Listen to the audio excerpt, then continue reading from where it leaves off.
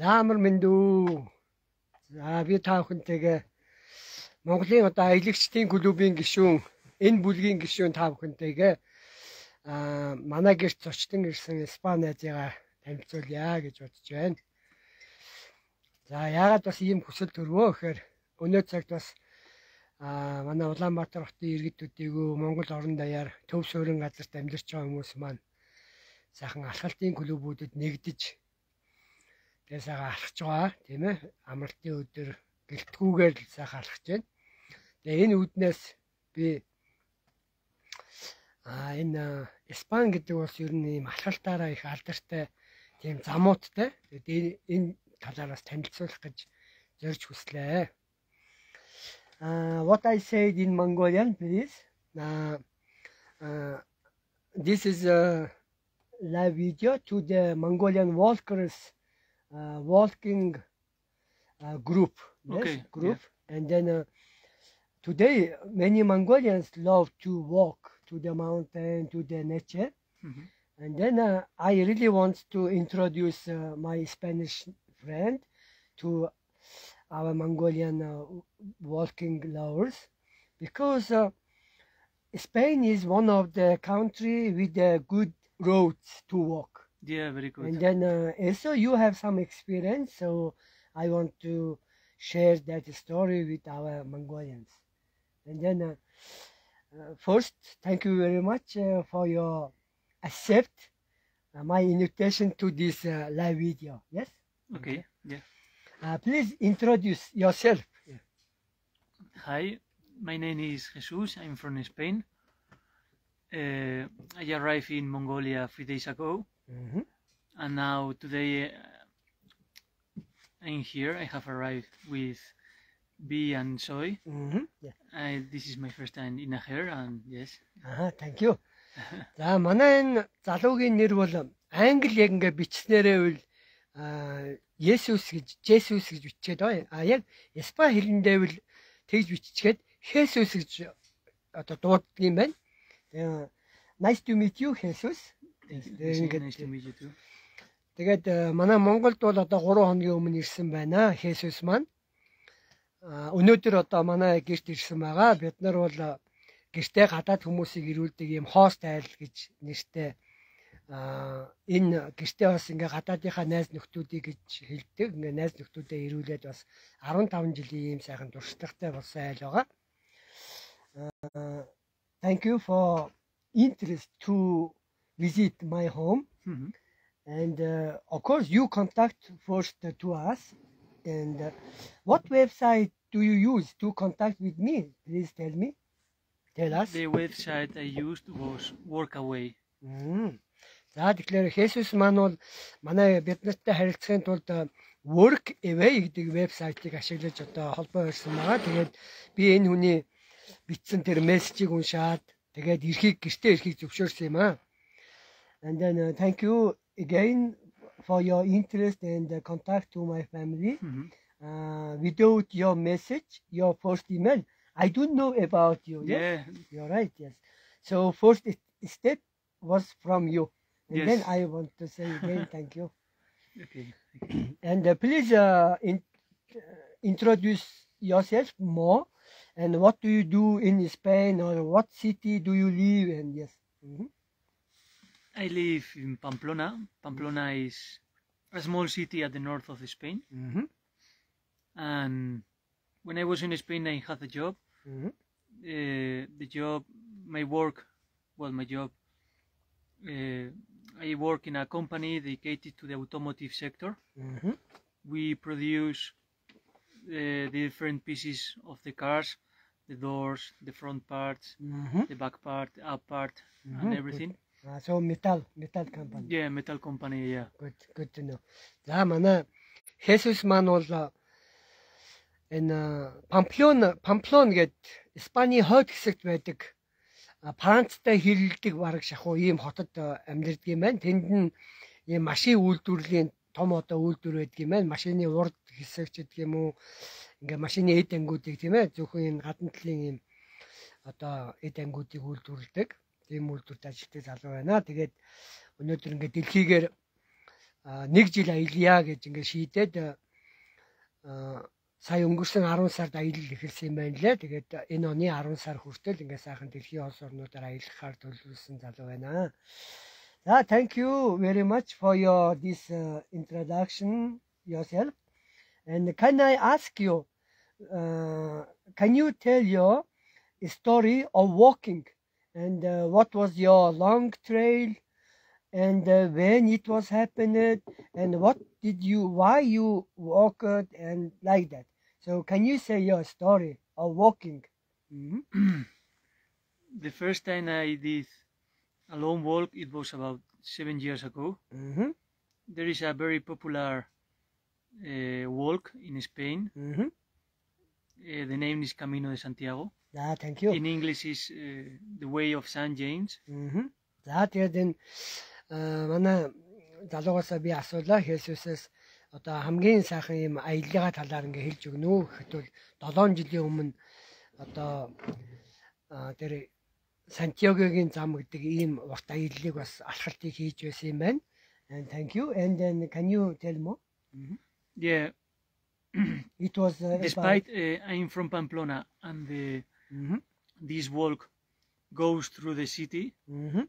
I was never, I think I was never interested in doing this Camino. Mhm. But uh, that year I was in Ireland, Mhm. and there in Ireland uh, I have some friends, and one of them he told me that he wanted to come to Spain Mhm. to do this Camino, and at that time I didn't have a job, so I said, okay, I go with you, Ah, good job.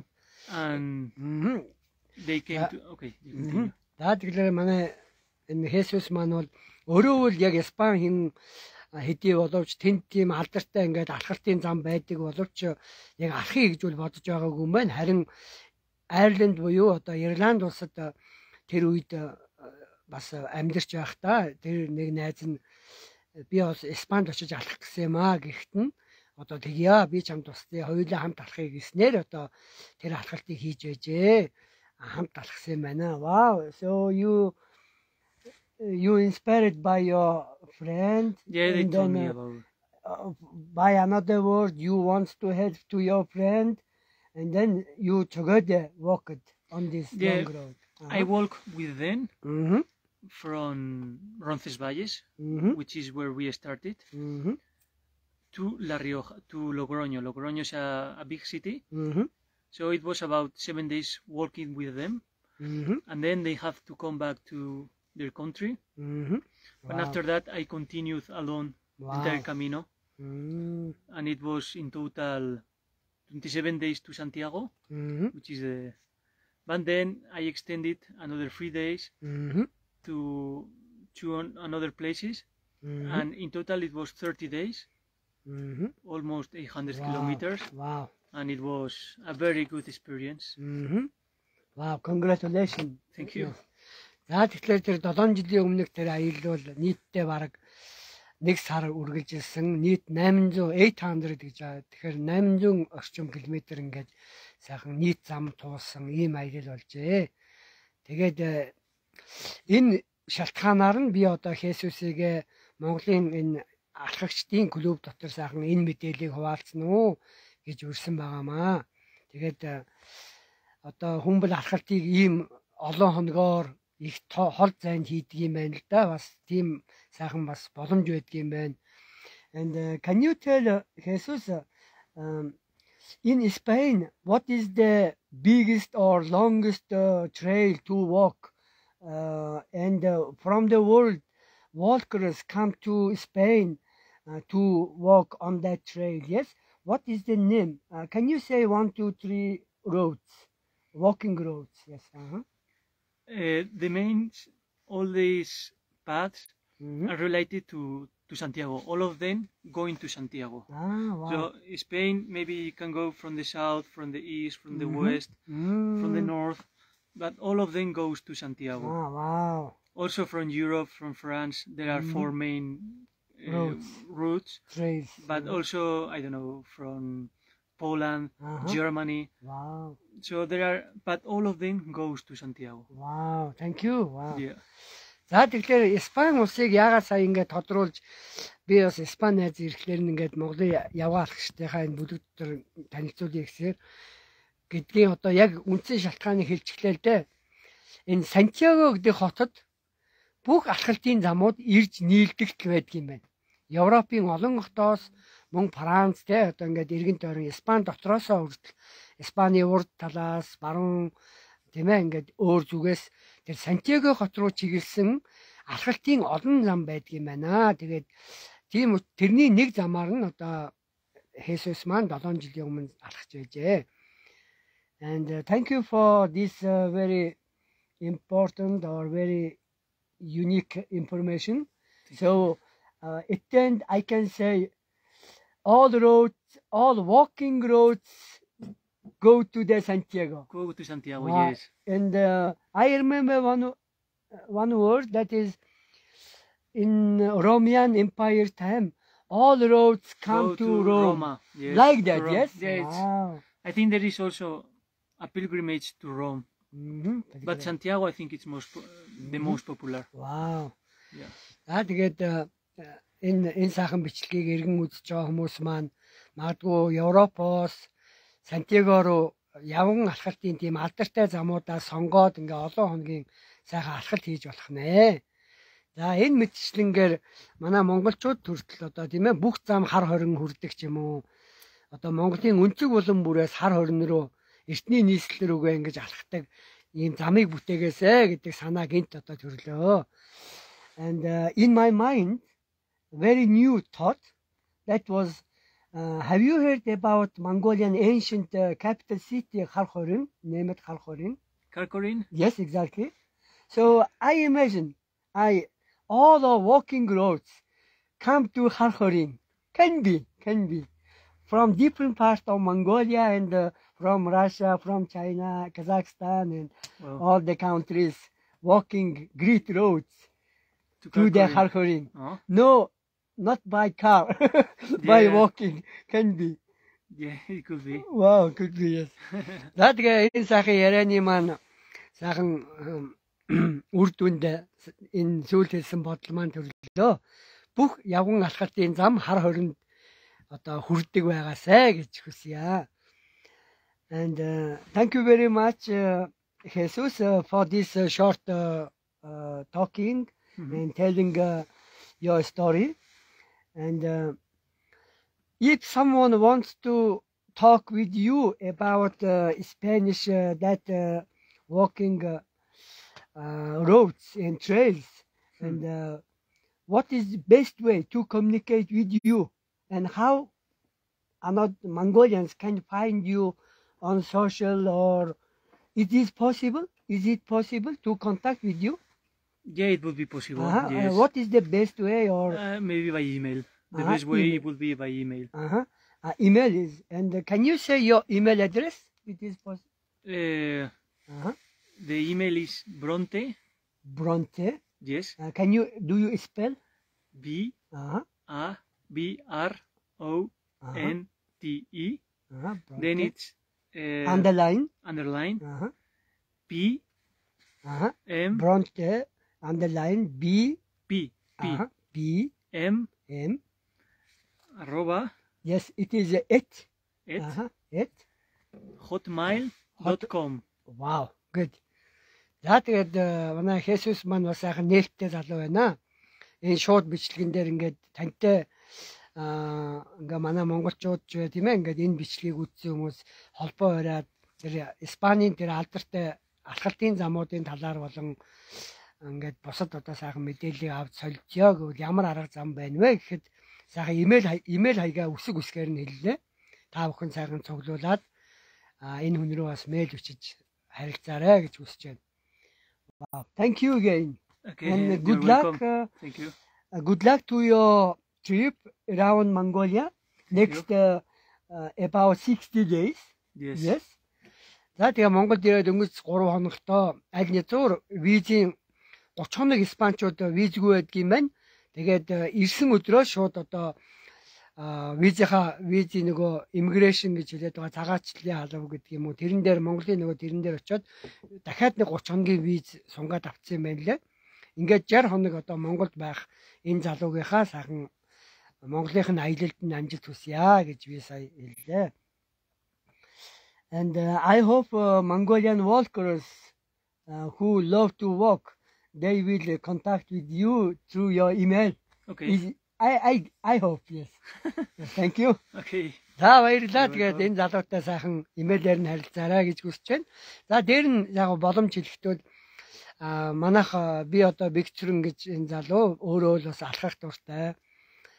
А мөн одоо алхалтын гайхамшиг гэдэг номыг бас уншиж байхдаа аа энэ их чухал юм байна.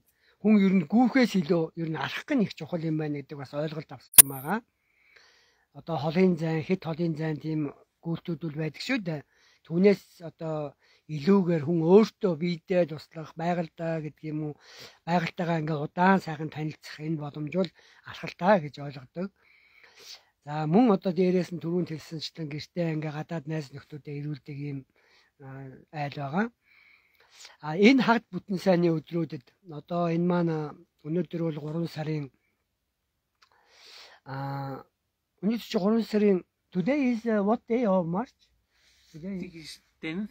10th. 3 сарын 10. Тэгэхээр 11 12 гэдэг энэ хагд бүтэн сайн өдрүүдэд бас одоо манай гэрт зочлон ирээд манай тийм гэр бүлэрээ гэдэг юм аяллийн зочлох юм хөтөлбөр байдгийг та бүхэн миний энэ фэйсбүүкийн профайл руу ороод эдгээр харж болно. Гэр бүлэрээ гэдэг манай аяллийн хөтөлбөрт хамрагдаад нэг өдрийн хөтөлбөрт хамрагдангаа манайд байгаа энэ сайхан Испани зочинтой маань сайхан танилцаж, хуучилж ярилцах юм бас сайхан боломж байна. За а энэ бичлэгийг маань үзэж цааш нь сайхан дэлгэрүүлэн түгээж байгаа түгээх одоо эрхэм танд гэлээ. Uh, what I said in uh, Mongolian we are host family uh, to host uh, international travelers and domestic travelers to our gear to to share Mongolian gear daily life. Mhm. And uh, of course, you are going to live with us uh, next uh, sat next two days and Saturday, Sunday. And if someone really wants to meet with uh, Jesus, and they can join with us, yes, why not? It is possible, yes. And then I say that possibility. Okay. За ингээд э, сайхан амраарай та бүхэнд гэлээ. За how to say in Spanish? Uh, see you again. Eh, hasta os veo. Hasta os veo. eh, os veo después. O, o hasta luego. Hasta luego. Аха, Hasta luego. Hasta luego. Аха, Hasta luego гэж эргэн уулзцаая гэсэн санаа гэлээ. In English it is see you, yes? See you. See you, yeah. Ah, yes, thank you. За сайхан амраарай өнөөхөө.